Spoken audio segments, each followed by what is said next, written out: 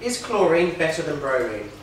Well, certainly here, with all of our customers, all in the Northern Home Counties here, we would certainly suggest that chlorine is a far more forgiving product to use.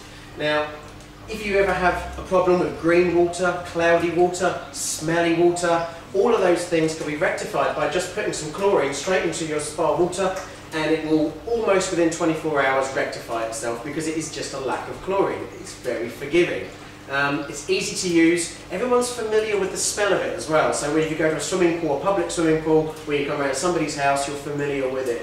Whereas bromine is a very slow releaser. It works by coating itself into the spa. Now if you use the spa heavily over the weekend, come Monday, Tuesday, Wednesday, Thursday, you're going to have to wait for that bromine to release into the water, which means that you're not going to have sufficient uh, protection, which can make your water go green in the meantime, uh, cloudy, all those above problems. More importantly as well is bromine smells. Um, not a lot of people actually like the smell of bromine as well. And also because you're going to wear that water out more often because the water isn't protected for a continuous period of time, it means you might have to dump that water maybe once or twice more than your scheduled amount for an entire year, which really pushes up your costs even if you haven't even if you have saved a little bit buying it over chlorine. So we would suggest that maybe chlorine is a far more forgiving product and something that's a bit more user friendly.